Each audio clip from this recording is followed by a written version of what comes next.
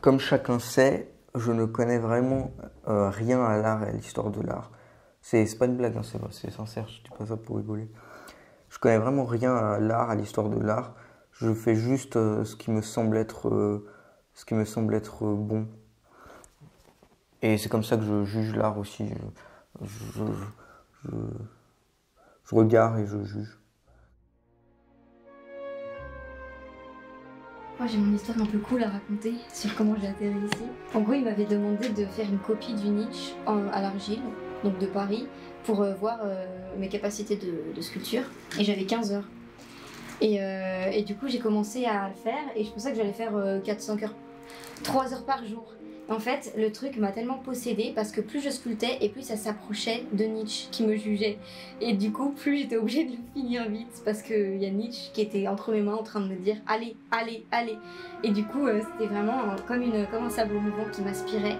Et euh, je crois que je l'ai fini en deux jours, genre euh, euh, 10 heures le premier jour et 5 heures le deuxième jour. Et j'ai jamais autant travaillé euh, enfin, 10 heures de suite sur un truc comme ça, si précis. Ça faisait peut-être des années que pas, que je m'étais pas plongée dans un truc quoi. Donc euh, vraiment, euh, le, le gars m'a possédé quoi.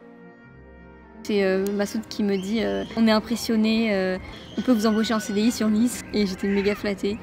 Donc ouais, j'ai dit ok et deux jours plus tard j'ai- j'ai pris mon billet puis je suis partie.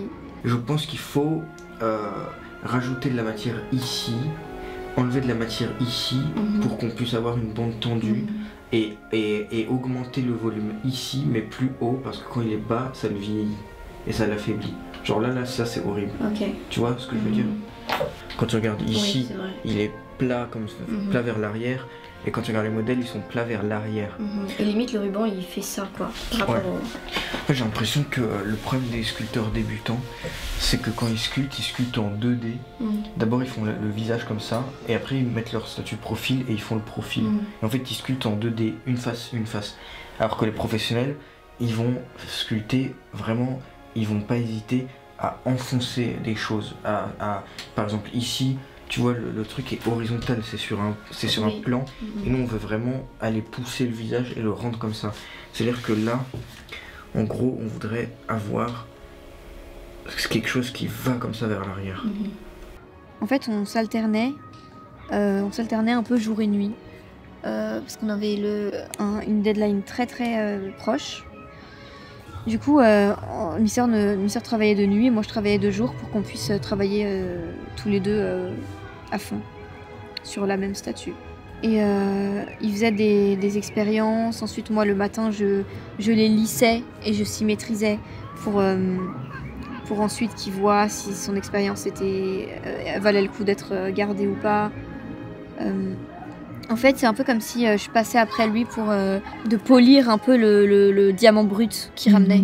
En gros, euh, lui, il, a- il avait une sorte de, des sortes de possessions euh, où ses mains faisaient des trucs trop stylés, mais c'était c'était euh, pas propre.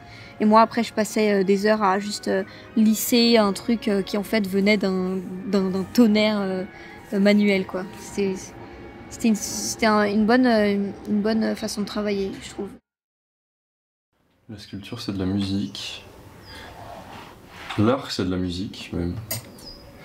Et il suffit d'une fausse note, une toute petite fausse note pour que toute la composition euh, soit gâchée. Euh, là, on sculpte, donc euh, on, propose en fait la sculpture au, monde. On propose Napoléon et on dit regardez Napoléon, regardez, voilà ce qu'on vous propose, la vision de lui qu'on propose, ce qu'on a envie de de- d'exacerber de lui sous vos yeux.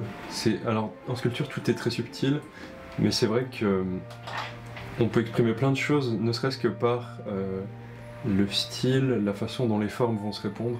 Par exemple, des cheveux qui vont être plutôt tumultueux, un peu ébouriffés, ça va représenter, ça va avoir une, une symbolique, même si c'est euh, inconscient aux yeux du spectateur.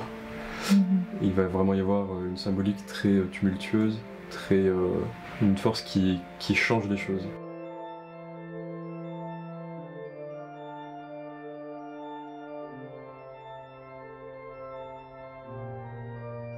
Et donc, ne connaissant rien à l'art, euh, il y a quelques années, euh, qu- quand j'ai beaucoup erré dans le Louvre, je me suis juste euh, laissé, euh, euh, toucher, laissé frapper par les statues dans la salle Richelieu, la belle salle des statues, la belle salle des sculptures.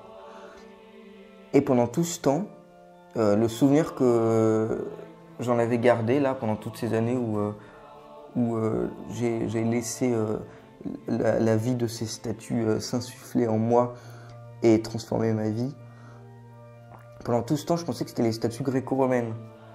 Et on était particulièrement touché par les statues gréco-romaines parce que euh, souvent c'était que des ruines. Le temps euh, avait fait euh, sa marque et,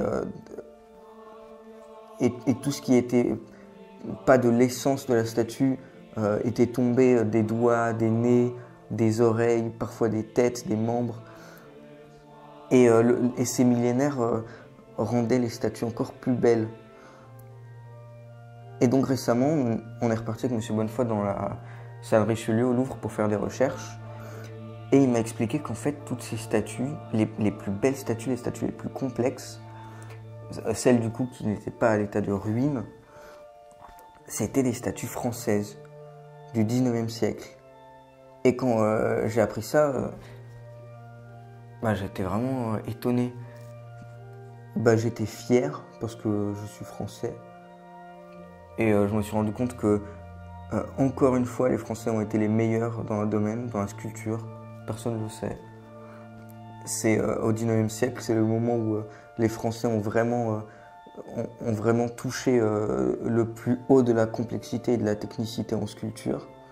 Et je me suis dit, encore une fois, voilà un domaine où les Français ont été les meilleurs. Y a-t-il un seul domaine où les Français n'ont pas été les meilleurs? Même dans la médiocrité les Français sont les meilleurs. Et donc quand je vois euh, ces statues et que je sais que ce sont des Français qui les ont faites, euh, j'ai un sentiment de honte aussi, parce que ça montre euh, l'ampleur de notre trahison envers ces Français, envers ces sculpteurs.